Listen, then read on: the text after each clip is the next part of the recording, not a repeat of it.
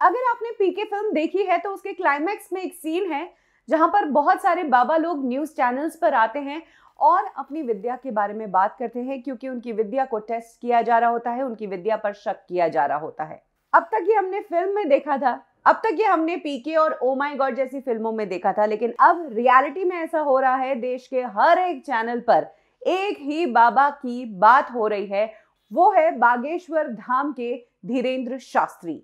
आखिर धीरेन्द्र शास्त्री को लेकर क्या कंट्रोवर्सी खड़ी हुई है? किस बात से धीरेन्द्र शास्त्री हर एक चैनल पर है? क्यों सारा मीडिया धीरेन्द्र शास्त्री के पंडाल पर पहुँचा हुआ है? और बाबा जी से आखिर ये मीडिया क्या जानना चाहता है?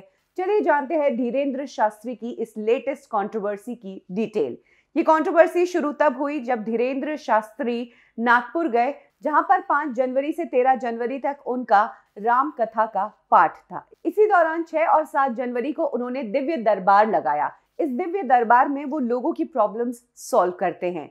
धीरेन्द्र शास्त्री एक बात के लिए बहुत फ़ेमस है कि कोई भी शख्स जब अपनी प्रॉब्लम लेकर उनके पास आता है तो बिना बोले ही उन्हें उसकी प्रॉब्लम पता चल जाती है और वो क्या पूछने वाला है? ये बात बाबा उसके बोलने से पहले ही पेपर पर लिख कर बता देते हैं कि तू ये पूछने आया है और उसके बाद उसको उसका सोल्यूशन देते हैं। यानी कि वो इंसान का मन पढ़ सकते हैं, उनमें इतनी शक्तियाँ हैं कि वो लोगों के अंदर क्या चल रहा है और वो क्या पूछने वाले हैं, ये उन्हें पहले ही पता चल जाता है। वो कहते हैं कि उनके ऊपर भगवान बालाजी की दिव्य दृष्टि है और बालाजी ही उन्हें ये सब इंफॉर्मेशन देते हैं।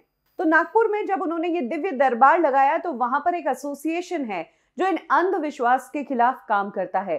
ये एसोसिएशन जादू टोना टोटका ये सब कुछ बंद करवा चुका है और इसे महाराष्ट्र में क्राइम माना जाता है, क्योंकि वहाँ पर एक बिल पास किया गया है कि जादू टोना टोटका करना, ये जो बाबा दावा करते हैं कि हम आग पर चल सकते हैं, हम पानी पर चल सकते हैं, हम हवा में उड़ सकते हैं, हमारे अंदर एक ऐसा विजन है जिससे हम हमारी शक्तियों से लोगों की बीमारियाँ दूर कर सकते हैं। ये सब महाराष्ट्र में क्राइम है।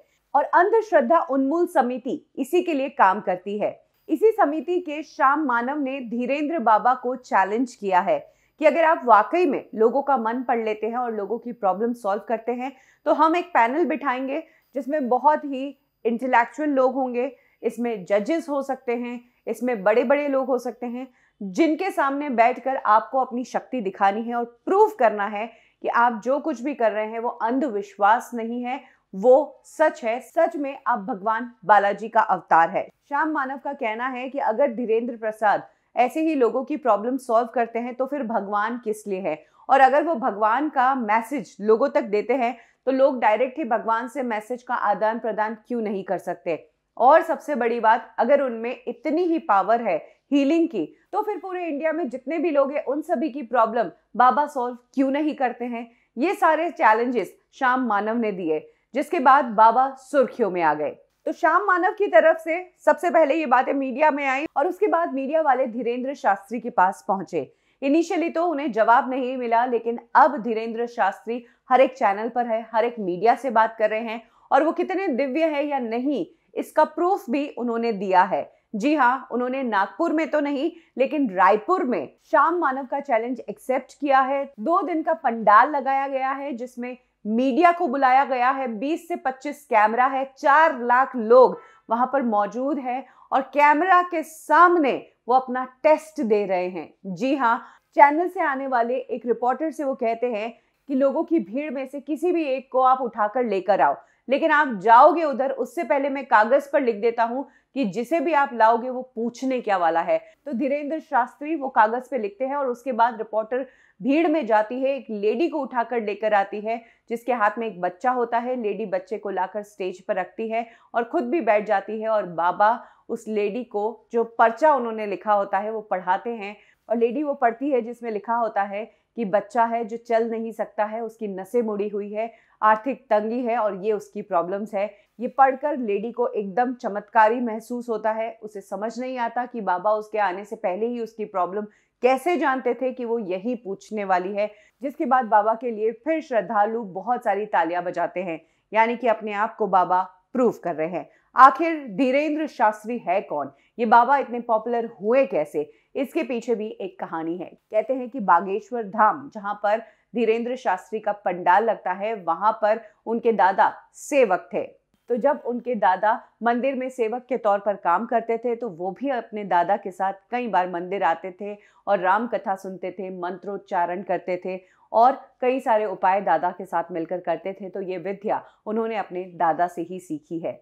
धीरेन्द्र शास्त्री के परिवार में उनके पिता है, उनकी मदर है, उनकी एक बहन है और उनका एक भाई है। परिवार इनिशियली तो ठीक ठाक कर रहा था, लेकिन जब दादा की मौत के बाद उनके पिता और उनके चाचा अलग हुए तो उनका परिवार आर्थिक तंगी में आ गया, जिसके बाद माँ ने भैंस का दूध बेचकर परिवार को चलाया।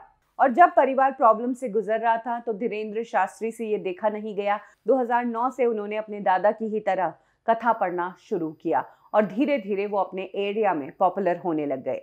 कहते हैं कि आर्थिक तंगी को दूर करने के लिए एक टाइम पर धीरेन्द्र शास्त्री ने रिक्शा भी चलाया। वो रिक्शा चलाकर जो पैसे आते उससे घर का खर्चा निकालते थे।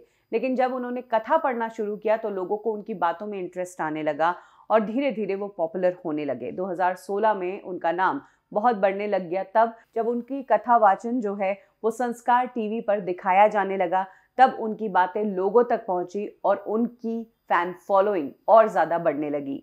और इसके बाद और कुछ सालों में वो इतने पॉपुलर हो गए कि देश में अलग अलग जगह वो कथा पढ़ने जाते और फॉरेन कंट्रीज़ में भी लोग उन्हें कथा पढ़ने के लिए बुलाते।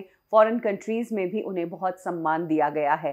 धीरेन्द्र शास्त्री कथा जिस तरह से पढ़ते हैं और जिस तरह की बातें करते हैं और जो उनका दिव्य दरबार है ये बातें तो उनकी खास है ही। इसके अलावा वो one of the youngest baba कह सकते हैं हमारे देश के हैं। उनकी उम्र महज 26 साल है और 26 साल की उम्र में यंगस्टर्स अपनी लाइफ को एंजॉय करते हैं। वहीं धीरेन्द्र शास्त्री इतनी ज्ञान भरी बातें करते हैं, वो लोगों के लिए बेहद शॉकिंग है।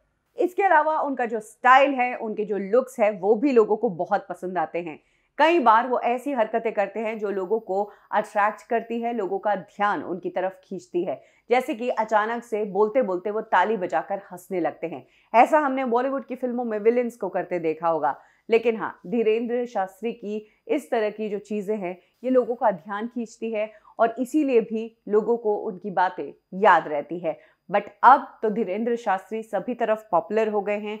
नागपुर कंट्रोवर्सी के बाद दूध का दूध, पानी का पानी, हो ना हो। धीरेन्द्र शास्त्री जो दिव्य दरबार में करते हैं, वो सिर्फ़ अंधविश्वास है या सच्चाई है या बालाजी की कृपा है, ये प्रूव हो ना हो। लेकिन ये ज़रूर है कि इस कंट्रोवर्सी से वो इतने ज़्यादा पॉपुलर हो गए हैं कि आज की डेट में देश के हर मीडिया पर उनका इंटरव्यू है और उनका जो दिव्य दरबार है, उसका अब लाइव टेलीकास्ट हो रहा है।